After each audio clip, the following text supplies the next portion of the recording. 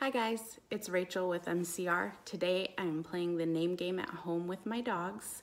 Um, I am practicing self-distancing and staying home, so I've been working from home and um, yeah, we're gonna play the name game. What's the name game you may ask? It is a great way to teach your dog their name. So if you just got a puppy, if you just rescued a dog and you weren't so fond of the name that they were given by the rescue, this is a great way to teach them to learn their name. Um, my dogs all know their names pretty well, so when I'm doing this, it's gonna be mostly me, um, what's the word? Practicing recall, there we go. Um, if you don't know what recall is, it's exactly what it sounds like, the ability for your dog to hear their name and come to you. So how we're gonna be doing this is using a clicker and I have some high value treats, which are just cut up hot dogs.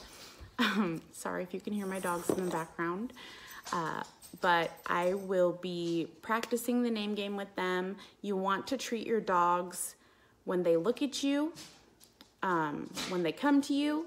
So anytime you say their name and their attention goes to you, that is the perfect opportunity for you to treat them and let them know that, yes, good job.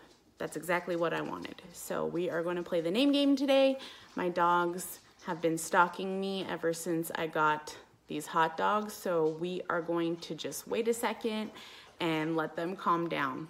All right, see you in a little bit. Also, I forgot to mention, if you don't have one of these handy dandy bad boys at home, which is a clicker, um, you can also use a high pitched noise. You can make a noise with your mouth. You can click like that, um, whistle. There's a lot of things you can do, but basically the purpose of the clicker is to give your dog that um, cue that what they did is what you want them to do. You can snap your finger and treat them. Um, so you don't have to have a clicker at home. Okay. All right, so it's been a minute. Um, my dogs are pretty calm. Ruka, my, my girl dog, she is still stalking me. But the two boys are in the office with dad, who is also working from home right now. Uh, and we are gonna see if we can get one of them to come to us. All right, guys, let's try this. Jackson. Good boy. Good boy. Good job. All right, let's try my little girl. Ruka.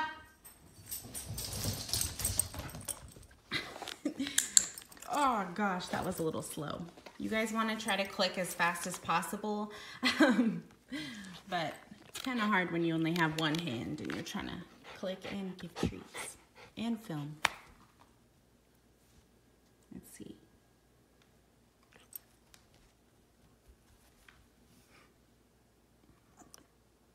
Telling mom, can I have those treats?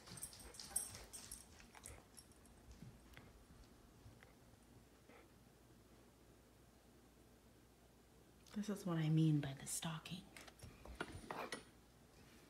So she's not paying attention to me, which is the perfect time to say her name. Ruka, come here. Good job. So for those of you with dogs at home, like little puppies, you don't have to necessarily have them go very far. As you can see, my girl dog is just sitting here. I'm calling her girl dog because if I say her name, she will look. Um, but this is how you would want to treat. Uh, I'm going to use this as an example. Ruka. Good girl. Good girl. There. There you go. So like I said, um, sorry, it's a little crooked. My dogs have pretty good recall. They all know their names pretty well. But um, if you have your dog at home, they don't know their name, this is really easy. You don't have to do it the way I did. I waited for them to go into other rooms in the house and then I called for them. Um, but even if they're just sitting next to you and you feel that they don't know their name very well, you can call their name every time they look at you and acknowledge that yeah, that's my name. Um, you can click and treat them. But that's pretty much the name game. So hopefully you enjoyed my dogs and thanks for watching.